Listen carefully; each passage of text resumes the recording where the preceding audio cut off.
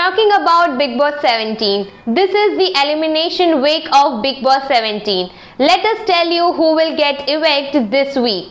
Ayesha Khan or Rinku Dhawan after Aishwarya Sharma's eviction. You're watching New Gujarati News. I'm Nirali Jain.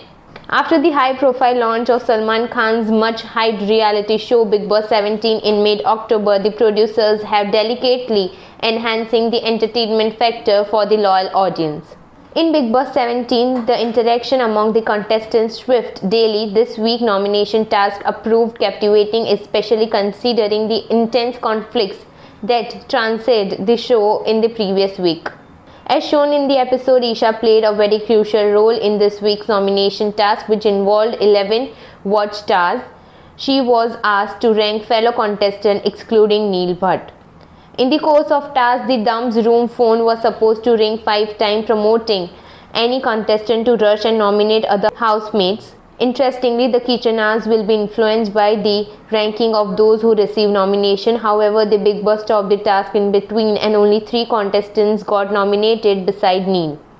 Most probably either Rinku Dhawan or Ayesha Khan is likely to face eviction from the controversial reality show this week.